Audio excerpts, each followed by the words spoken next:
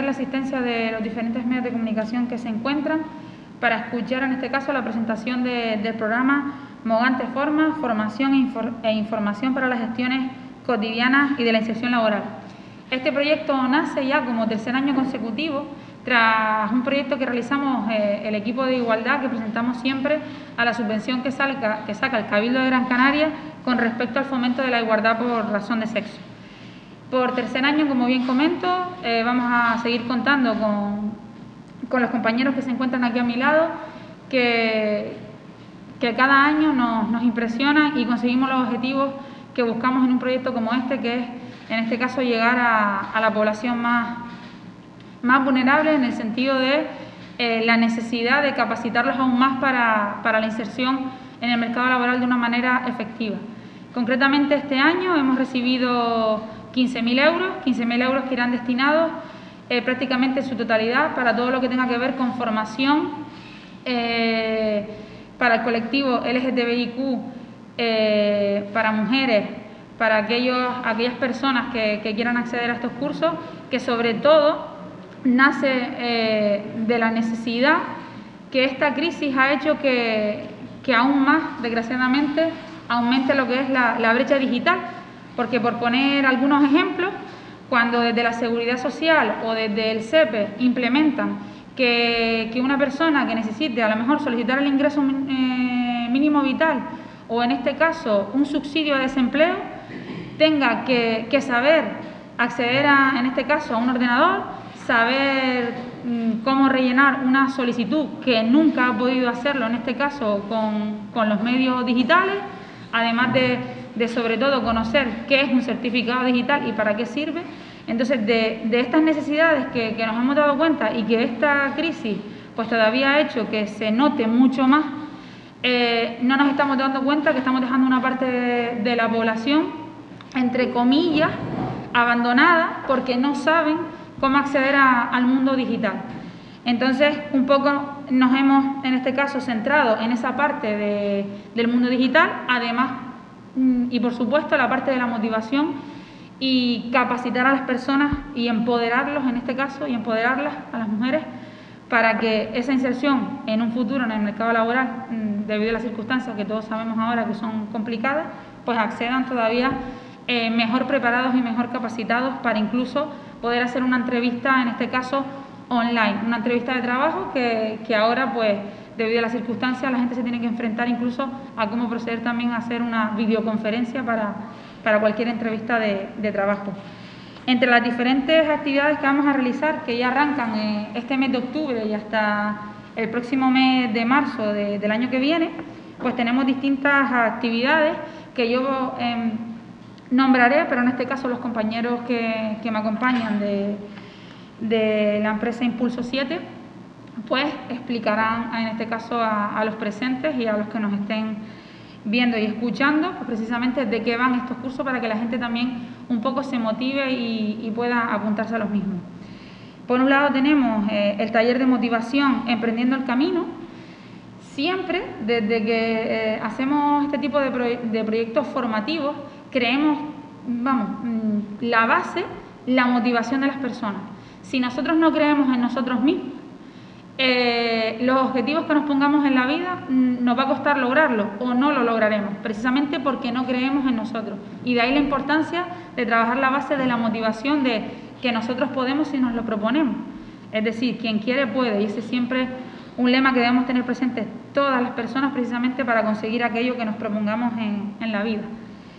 El segundo curso en este caso, que es eh, las personas LGTBIQ y el acceso al mercado laboral, como saben, si ya de por sí el acceso al mercado laboral es complicado, pues desgraciadamente eh, todavía sigue insistiendo de alguna manera esas diferencias que establecen simplemente por una persona que se siente como, tiene una identidad de género distinto, cuando nada más lejos de la realidad es como cualquier otra persona que tiene derecho a acceder a un mercado laboral en igual condición que cualquier otra persona. No tiene nada que ver eh, la identidad de cómo uno eh, se sienta.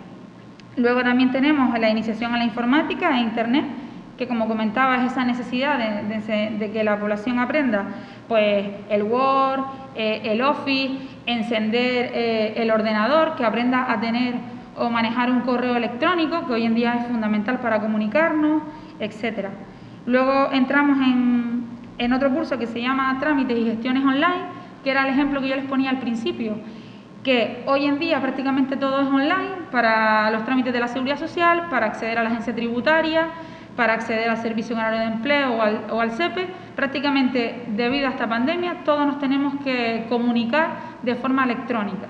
Entonces, eso me lo pueden decir a lo mejor a mí, que a lo mejor me manejo mucho o algo con, en este caso con los medios digitales, pero a una persona que no ha tenido la oportunidad nunca a lo mejor de tener un acceso a Internet en su propia casa, pues poder pues decirle a ese ciudadano o a esa ciudadana, no, mira, es que ahora tienes que solicitar un subsidio o el ingreso mínimo vital, pues a través de haciendo los trámites online, pues ya me dirán ustedes lo complicado o lo casi imposible que se le hace en este caso a un ciudadano que no accede a, en este caso a estos medios, eh, pues realizar una solicitud por, por medios digitales. De ahí la importancia de este curso que creo que es ahora fundamental en los tiempos que vivimos y porque el futuro eh, ya está prevaleciendo que nos tengamos que, con la administración pública en este caso, pues comunicarlo de forma electrónica. Por lo tanto, entendemos que es la parte fundamental de, también de, de estos talleres y estos cursos.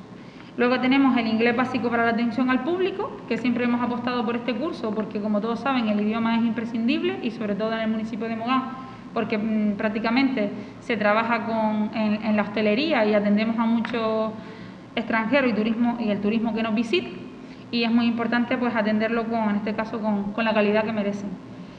Y luego también tenemos el emprendimiento y el autoempleo, que es un poco también que las personas sepan y, y sean conscientes de que, ¿por qué no? Podíamos probar en montar nuestra propia empresa y, y de alguna manera eh, fomentar aquello que conocemos y, ¿por qué no?, eh, meternos en el mundo de del emprendimiento y de aquello que yo sé, pues sacarlo a la luz y, poder formar mi, propia empresa, eso es un reto que alguien se puede de alguna manera poner y nosotros con estos cursos, en este caso los compañeros, pues les van a, enseñar. Y luego tenemos la formación e-learning, que esto es un catálogo de todos aquellos cursos que cualquier persona eh, le interese, que habrá diferentes, más de, de, 20 modalidades y que desde casa a lo mejor quien sí se maneja un poquito más, que en este caso con, los medios digitales, pues lo puede hacer se puede apuntar y también acceder en este caso a, esta formación. Eh, por mi parte, ahora le voy a dar la palabra en este caso a los compañeros que van un poco a, hablar también de, cada actividad, a un poco fundamentarla mejor para que todo el mundo sepa lo que vamos a hacer y, motivarlos a que se animen. Y para apuntarse a estos cursos, en este caso hay que llamar al 928 15 8800 y las diferentes extensiones que les van a dar información, como puede ser el 5134, 5144, 5147 o 5142 o al 5101. Son las extensiones a las que ustedes pueden llamar marcando previamente el 928 158800 para preguntar sobre estos cursos. Sí es muy importante comunicar que las plazas están limitadas debido pues, a las circunstancias. Mm, desgraciadamente solo podemos admitir a, nueve personas por, por, curso para cumplir con, en este caso, con todas las medidas que, que nos exigen, porque al final estamos apostando por una, por una formación presencial y consideramos muy importante mantener en este caso todo lo que todas las eh, medidas sanitarias que debemos cumplir para que el curso esté en garantía de, éxito y se pueda culminar sin ningún tipo de, inconveniente. Eso es un poco la parte, vamos a decirlo así, más triste del proyecto porque no, no podemos llegar a todas las personas que quisiéramos llegar. Pero también creo que, a, los, que lleguemos un bien estamos haciendo con este tipo de, proyectos. Eh, ya por mi parte, le voy a dar la palabra a los compañeros para que en este caso presenten un poquito más y hablen de las diferentes actividades. Bueno, eh, hola a todas y a todos, mi nombre es Javi Sánchez, soy el director de Impulso 7. Desde hace ya varios años pues trabajamos con el Ayuntamiento de Mogán, al que le agradecemos su confianza. Eh, Tania ha desmenuzado perfectamente todos los entresijos del proyecto, ha contado hasta qué es lo que vamos a hacer, así que se lo agradezco porque eso me lo voy a ahorrar yo y sí les voy a explicar un poco el objetivo o los objetivos que nos planteamos con este proyecto. Lo primero, lo principal, que ya Tania también incidió en su exposición, es que un colectivo que no está motivado es un colectivo que no va a conseguir los resultados. Con lo cual, para nosotros, el punto de partida en cualquier acción que hacemos va a ser siempre motivar. Dedicaremos en la puesta en marcha de este proyecto a eh, trabajar con las personas que asistan la importancia de creer que pueden mejorar su calidad de vida, que pueden mejorar su capacidad de empleabilidad. Y en eso vamos a incidir, no solo en el primer taller, que va a ser explícitamente para esto, sino en todo el proceso, en todo el camino que vamos a andar juntos y juntas. Eh, el segundo objetivo será informar y asesorar a los participantes sobre cómo hacer una búsqueda activa de empleo, y no solo de empleo, sino también de autoempleo. Orientar las acciones hacia el emprendimiento. En este tiempo que hemos vivido, en el que sí se ha acentuado la necesidad de, salvar esa brecha digital, también nos hemos dado cuenta de que muchas personas han ido al paro y se han tenido que reinventar. Yo conozco varios casos concretos de personas que sus empresas han cerrado y ellos se han dado cuenta en ese confinamiento que tenían cualidades y tenían destrezas para desarrollar otras tareas y ahora mismo pues están buscándose la vida de esa manera. También vamos a incentivar la importancia del emprendimiento en este camino tan complicado que estamos viviendo ahora. Eh, hablaremos de las claves del nuevo paradigma laboral. El nuevo paradigma laboral que se nos viene en esta época que estamos viviendo ha quedado bastante de manifiesto. El uso de las tecnologías como un medio para el acceso al mercado laboral es clave, con lo cual la alfabetización digital, el aprender a usar las aplicaciones, el saber que la relación con la administración pública va a ser cada vez más orientada hacia las nuevas tecnologías es clave. Y facilitar a las personas usuarias de este proyecto cómo deben hacerlo, pues será uno de nuestros objetivos también, además de hablarles de otros aspectos que entran dentro de este nuevo paradigma. Lograr la integración de los colectivos LGTBIK es importante también porque eh, son un colectivo sensible a la hora de encontrar empleo. Si en general las personas que viven la exclusión social ya lo tienen complicado, este colectivo que además vive un estigma, pues más. Pues trabajaremos también qué aspectos son importantes a la hora de conseguir esa integración laboral. Y por último, dar asesoramiento e información concreta sobre el autoempleo y el empleo. Esto va a ser eh, los objetivos generales que nos vamos a plantear con cada acción formativa y siempre, siempre incidiendo en la importancia de eh, estar motivados y motivadas para la búsqueda activa de empleo. Grosso modo, yo les he contado un poquito eh, cuáles van a ser nuestros objetivos y ahora la compañera Mapi les hablará en específico de cada una de las acciones.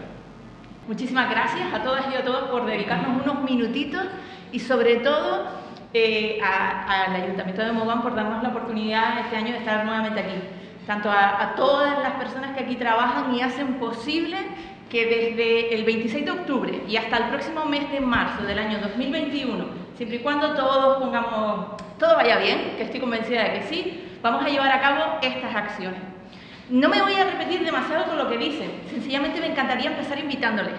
Si eres una persona que tienes la impresión de que estos últimos meses has recibido como si fuera una ola gigante que te ha arrasado como un, tsunami, que se te ha caído abajo todo lo que tenías planteado, tu proyecto de vida, que no sabes por dónde arrancar, cómo seguir, te invito a que vengas el 26 de octubre, ¿vale? Del 26 al 30 de octubre vamos a estar viendo cómo, incluida yo, cómo nos pondremos en marcha, cómo plantearnos nuevos objetivos en esta nueva era que existe, la era digital, la era de la robotización, cómo reinventarnos, cómo si nos hemos convertido en una gran piedra, imaginemos que pongamos ese símil que está completamente rota, cómo nos reconstruimos, nos reinventamos y nos convertimos en aquel eh, maravillosa, en esa piedra maravillosa que puede volver a lucir fuerte a partir del 30 de octubre, ¿vale?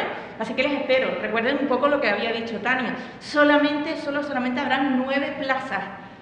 Espero que seas una de las primeras. No lo dudes, llama, inscríbete porque ahí va a ser el inicio de este camino de Mogante Forma que les garantizo que va a ser completamente apasionante y que va a poner en marcha claves muy prácticas, muy aplicables al tiempo que estamos viviendo. Prometido, les espero.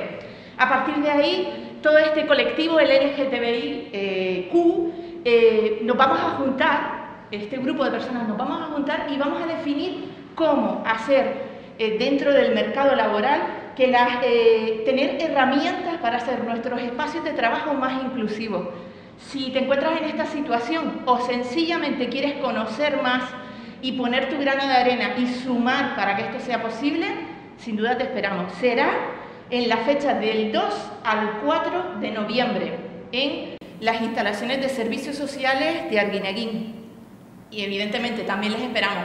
Llamen e inscríbanse, solo nueve plazas, ¿sí? Luego, por supuesto, por favor, aquellas personas que dicen la informática no es lo mío, la informática no es lo mío, sí es lo tuyo. Vivimos ya en una era en la que ah, eh, las personas vamos a comenzar a ser analfabetas por no manejar las nuevas tecnologías. ¿Vale? La informática ya se lleva en nuestra mano, nos acompaña, nuestros teléfonos móviles funcionan como ordenadores, pero primero vamos a empezar a usar esos ordenadores, a conocer los sistemas, a bajar todo lo que podamos la información para que salgan de aquí manejándolo, ¿vale? Y que de aquí a final de año digan, la informática no era lo mío, en la era post, en la era previa, ahora en la era post, entramos al nuevo año formados, informados, con conocimiento y además con un montón de habilidades para poner en práctica. Les aseguro que no es tan difícil, solo se requiere de práctica. Yo siempre pienso en los deportistas de élite. Los deportistas de élite han conseguido ser lo que son porque practican, practican y practican. Pues eso es lo que vamos a hacer en Mogante Forma. No solo te vamos a dar las herramientas, sino que nos vamos a poner en marcha. ¿Sí? El curso de iniciación a la informática esta vez va a durar desde el día 23 de noviembre, desde el 23 de noviembre al 4 de diciembre. ¿Sí? Así que llegaremos a final de año formados, informados y además siendo unos cracks, se los aseguro. Solo nueve plazas. Una vez que ya hayamos aprendido a manejar Internet, vamos a dar la posibilidad de que todo el mundo pueda hacer cursos de formación complementaria usando ya el ordenador o utilizando el móvil. Impulso 7 es una empresa de formación que tiene una plataforma online con más de 300 cursos complementarios que nos puede ayudar a reciclarnos mucho, a estar bien preparados para esta nueva era digital que empieza. Bueno, que empieza no, que ya nos acompaña. Disculpen, que ya nos acompaña. Así que desde el 1 de diciembre y hasta finalizar el mes de febrero, las personas que se inscriban o que lo soliciten tendrán acceso a esa plataforma de formación. Y ustedes dirán, ¿por qué desde diciembre? Para tener igualdad de oportunidades, para que todas las personas que se hayan inscrito y hayan hecho el curso de informática puedan acceder, porque ya conocen el entorno de Internet, a los cursos de formación online, que son complementarios. ¿De acuerdo? Como decía Tania, no me voy a extender mucho, la gestión y los trámites online son imprescindibles. Tendríamos que tener ya nuestro certificado digital para utilizarlo en nuestro teléfono móvil, en nuestros ordenadores, en nuestras tabletas y desde ahí gestionar todo lo que necesitemos con organismos públicos. Así que daremos un curso para que aprendan paso a paso y lo manejen al final de la semana todo lo que sería la realización de las gestiones online y ese curso se va a implementar desde el 11 al 15 de enero de 2021. En febrero, desde el día 1 y hasta el día 12, contaremos con una profesional excelente que les eh, enseñará todo lo básico para, para manejar el inglés. Todo lo básico para manejar el inglés. Y si tenemos un nivel ya básico, pues aumentaremos y perfeccionaremos el mismo, ¿vale? Desde el 1 al 12 de febrero. Y ya por último, en el mes de marzo es cuando desarrollaremos lo que sería el curso de emprendimiento y autoempleo. Estaremos ya en un nuevo año, con unas nuevas circunstancias, un nuevo, una nueva manera de estar en la economía y ahí veremos cuáles son los conocimientos necesarios que necesitamos para que una idea de negocio vuelva a ser sostenible en el tiempo y en el nuevo paradigma laboral. ¿Vale? Ese, curso se va a implementar desde el día 1 al 3 de marzo y la clausura de este proyecto se llevará a cabo el día 12 de marzo del próximo año y ahí se entregarán todas las certificaciones de todas las personas que acudan. Creo que un poquito más o menos. ¿eh?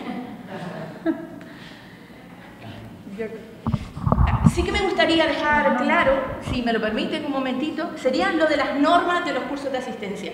Miren, tengan en cuenta que Mogante Forma va a ser casi exclusivo, van a ser un profesional que va a atender en calidad a nueve personas que vengan a las acciones formativas.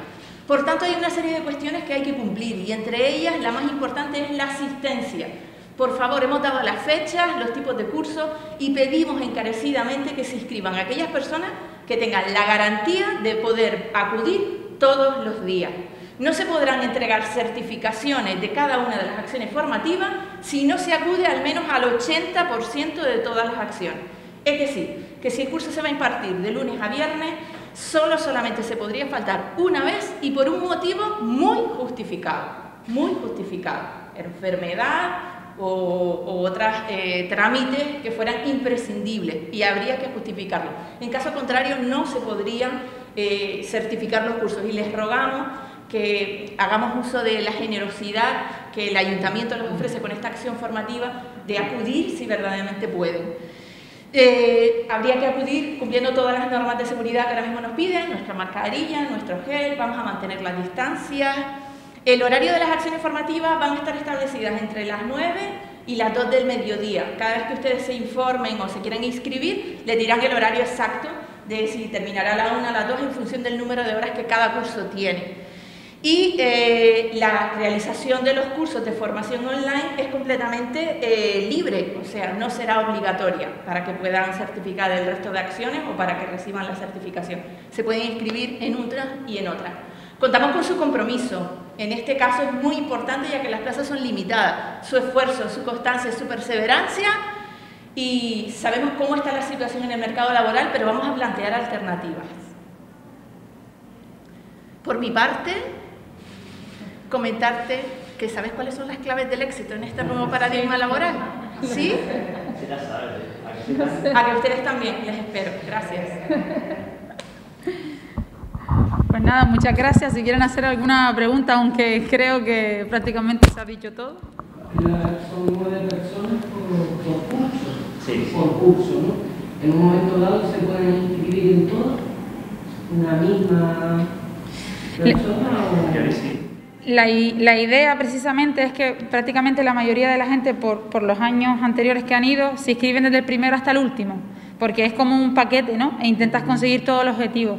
Cierto es que a lo mejor a cualquier persona le puede interesar ir a un solo curso y si hay plazas disponibles se puede apuntar. Y lo que decía en este caso la compañera Mapi exactamente es que como la oportunidad desgraciadamente son para pocos debido a las circunstancias, pues que aquella persona que quiera venir se responsabilice de que el no venir implica que una persona que realmente quiera se haya quedado fuera.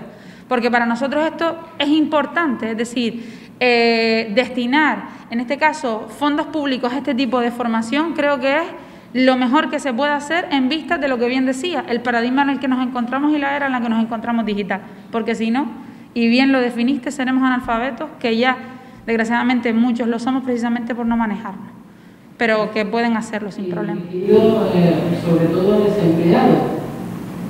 En este caso, eh, siempre se, es decir, el objetivo son desempleados. Eso no implica que debido a las circunstancias en las que estamos, alguien, como bien decía Mapi, que le ha cambiado la vida esta crisis y está a lo mejor en un ERTE, ese tiempo, ahora que no le dedica al trabajo, pues a lo mejor es su oportunidad para acudir a este curso. No se les va de alguna manera a dejar fuera por estar en este caso en un ERTE.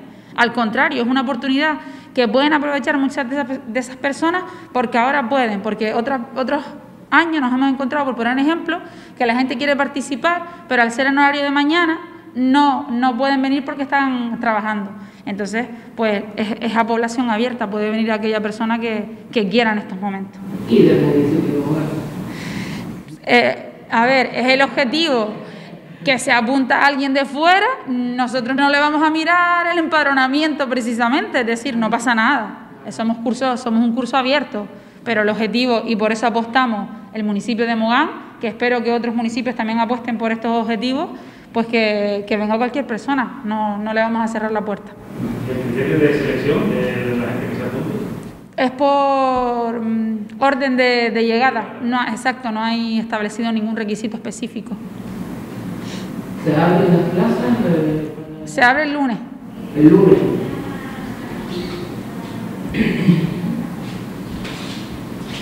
Vale. Pues por nuestra parte, muchas gracias. Gracias, gracias, gracias. Gracias por venir.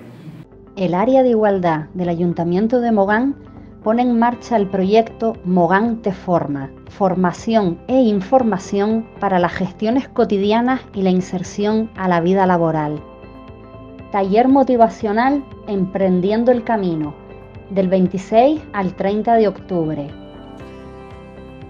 las personas LGTBIQ y el acceso al mercado laboral, del 2 al 4 de noviembre. Iniciación a la informática e Internet, del 23 de noviembre al 4 de diciembre. Trámites y gestiones online, del 11 al 15 de enero. Inglés básico para la atención al público, del 1 al 12 de febrero. Emprendimiento y autoempleo, del 1 al 3 de marzo. Formación y learning, del 1 de diciembre al 28 de febrero. Información e inscripción en el teléfono 928 15 88 00, marcando una de las siguientes extensiones 51 34, 51 44, 51 47 o 51 42.